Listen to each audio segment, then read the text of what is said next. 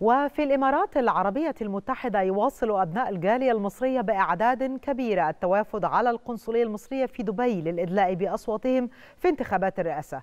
حرصت البعثة الدبلوماسية في دبي على تدليل كافة العقبات أمام الناخبين منذ الساعات الأولى لبدء عمل لجان التصويت في يومها الثالث للمصريين بالخارج خاصة مع رصد طوابير من الناخبين.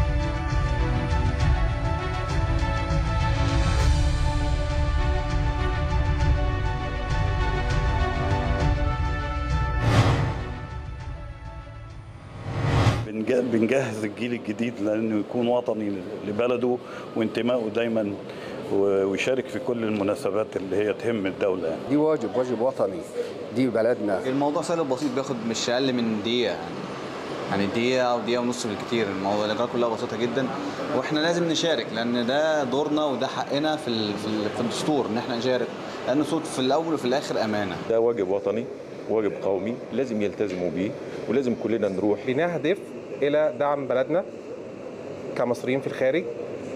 بنهدف إلى حث المصريين في الخارج على المشاركة في جميع الانتخابات أو جميع الاستحقاقات الدستورية اللي بتكون مطروحة أمامنا كمصريين. نشارك بلدنا في المناسبة الجميلة ديت. وحقيقة إحنا الحمد لله يعني من بعد الجمهورية الجديدة بنحاول إن إحنا نلتزم بالاستحقاق ده. حتى أولادي الصغيرين يعني أنا بحاول كل مرة بجيبهم. لازم الكل يشارك ده حق يعني وده واجب على الجول على الجميع يعني. فإن شاء الله بإذن الله ما حدش هيأثر خصوصا الإخوة المغتربين يعني. لازم أقف جنب بلدي لما حاجة زي كده في انتخابات لازم شيء طبيعي إن أكون حاضر يعني.